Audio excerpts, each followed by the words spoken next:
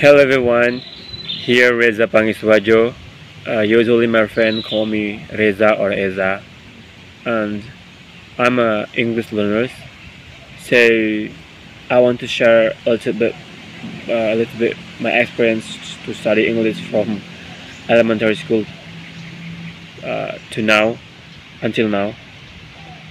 Uh, yeah, I found a lot of challenging to speak English how to be confident to speak English, how to how to mastering some vocabulary, how to how to mastering pronunciation, accent, and and kind of ya hmm, apa ya? Menurut saya itu sebenarnya bahas untuk kita belajar suatu bahasa yang bukan bahasa ibu kita ya itu sebenarnya bisa. Apalagi mengingat kita orang Indonesia ini semenjak kita lahir itu kita sudah dibekali dari ya minimal dua bahasa lah ya. Bahasa ibu bahasa lokal kita sama bahasa Indonesia bahasa pemersatu kita. Sebenarnya sebenarnya seperti itu. Cuman yang saya lihat ini apa ya belakang bukan belakangan ini sih. Uh, udah dari dulu ya tingkat kepercayaan diri aja kepercayaan diri kita yang maksudnya kita, kita kurang percaya diri aja untuk untuk uh, ngomong bahasa Inggris di, di lingkungan sekitar sama teman-teman dan sebagainya. Soalnya, soalnya kita kadang-kadang takut sama stigma-stigma so Inggris dan sebagainya itu loh. Itu yang itu yang membuat membuat membuat kita pede aja sih itu kalau menurut saya. Jadi ya menurut saya sih hmm, sebenarnya apa ya kita bisa mengaplikasikan itu dengan menutup kuping terhadap komentar-komentar yang mungkin menjatuhkan mental kita yang buat kita tidak enak itu tutup kuping saja. Maksudnya tidak usah didengarkan. Kita going forward aja. Terus apa ya? Kita bisa kita bisa apa ya? Kita bisa uh, menggunakan metode-metode yang kita suka untuk meningkatkan kemampuan kita untuk belajar suatu bahasa asing. Seperti mungkin kayak seperti saya. Saya mungkin suka mendengarin musik ya metode yang saya gunakan untuk belajar bahasa Inggris ya atau belajar bahasa asing lainnya dengan dengan dengan menyanyi. Seperti contoh kayak kayak begini. Uh, kayak lagu-lagunya Rich Brian itu kan saya suka. Saya belajar beberapa vocabulary uh, aksennya pronounce dan sebagainya sebagai macamnya itu dari dari lagu-lagunya Rich Brian rapper Indonesia itu yang keturunan Cina Surabaya itu. Ya Cina Surabaya atau Cina Jakarta saya lupa tapi intinya dia ada berdarah Tionghoa. Sekarang dia udah ada di Amerika sana. Ya sangat-sangat sukses. Lagu-lagu hitsnya tuh kan booming di negara kita waktu tahun 2000 berapa ya? 2019 2020 mungkin ya kalau saya saya agak lupa juga. Yaitu Dead, Dead Stick itu kan kita semua udah tahu lah. Seperti to, to, 12 in the morning pop sales for a living and baby don't smell blue trail let the meat walk safe and the niggas know fella wanna hit him every time I said pick I just hesitate to kill him and nobody give a fuck about the rule ada good diplomas ya yeah, kind of terus kayak lagu Thailand kayak รักไม่กำปอบเมื่อฉันจะถึงแล้วถึงมารักเธอได้อย่างไรและมอบชีวิตและจิตใจ seperti itu. Itu itu, itu metode saya untuk menguasai bahasa asing lainnya selain bahasa ibu saya dan bahasa uh, nasional kebangsaan saya yaitu bahasa Indonesia. Terus ya itu kita harus bangun percaya diri bangun kepercayaan diri yang yang yang kuat. Tempo percaya kepercayaan diri kita harus harus kuat. Apa jangan gampang diruntuhkan oleh komen-komen yang mungkin biasanya mengomentari kita uh, dalam belajar bahasa suatu bahasa seperti so Inggris so sok sok ngomong bahasa asing itu tuh lupain aja bikin lagi aja bisa masa kita nggak bisa. Kuncinya cuma di situ teman-teman. Yes.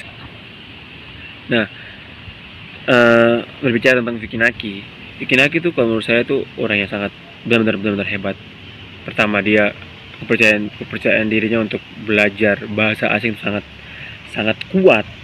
Sangat apa ya ya intinya sangat kuat dan menggebu-gebu kalau saya lihat ya dia ya dia menggunakan metode apa yang dia suka seperti main TV kan saya saya kan cukup cukup cukup mengikuti Vicky Naki juga ya belakang bukan belakangan ini dari dari awal awal dia booming itu saya mengikuti dia. Dia dia dia bilang dia memang memang suka suka berinteraksi dengan orang asing dan sebagainya itu. Dan dan karena dia itu adalah salah satu putra daerah di Riau ya kalau tidak salah tuh. Dia itu orang Riau teman-teman. Kalau by the way for your information dia dari tanah Minang sana bukan bukan dari Jakarta bukan dari tempat-tempat dari kota-kota besar yang terfasilitasi segala macam tapi dia itu dari daerah-daerah. Ya mungkin bisa dibilang Riau tapi Riau-Riau mungkin terpencil juga saya kurang paham tapi dia pernah bilang di salah satu wawancara dia tuh dari Riau.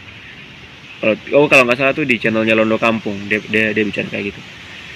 Dan mungkin mungkin saja mungkin saja daerah daerahnya dia itu mirip-mirip sama kayak daerah saya di Ambon sana. Soalnya saya juga berasal dari dari Ambon juga dari daerah tapi bukan di kotanya ya saya di agak di ke timurnya lagi.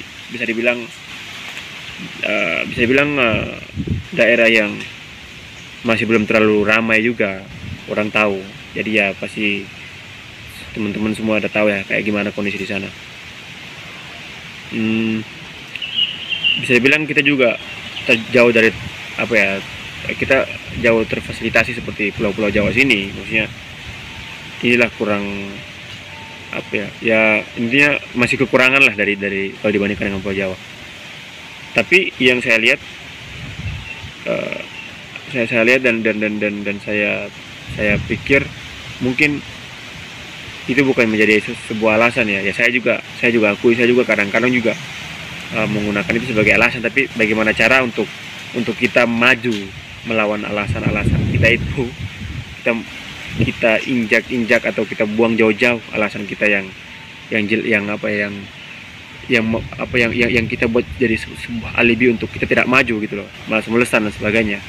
Saya juga lagi dalam tahap itu teman-teman. Jadi mari kita sama-sama uh, semangat semangat belajar apa pun itu apa pun apa pun yang kita suka. Bukan hanya bahasa semuanya. Apa yang apa yang kamu suka yang mungkin kamu suka belajar uh, mengotak-atik mesin dan sebagainya. Ya kamu bisa cari metode-metode atau atau hal-hal yang yang yang yang kamu suka untuk untuk meningkatkan apa ya meningkatkan kemampuan kamu dalam dalam apa dalam menguasai bidangmu itu. Jadi jadi ya menurut saya sih apa ya lebih ke semangat ya kembali lagi kepada kepada apa ya kepada ya ya kita harus semangat ya. Kemudian ya intinya jangan dengerin kata orang aja ya. Itu aja sih. So yeah so you guys must be confident but not not to overconfident because not no people not all people like to speak another language so So guys, maybe ya kita pintar-pintar aja menempati diri kapan kita menggunakan bahasa Inggris dan sebagainya macam. Sih, terima kasih.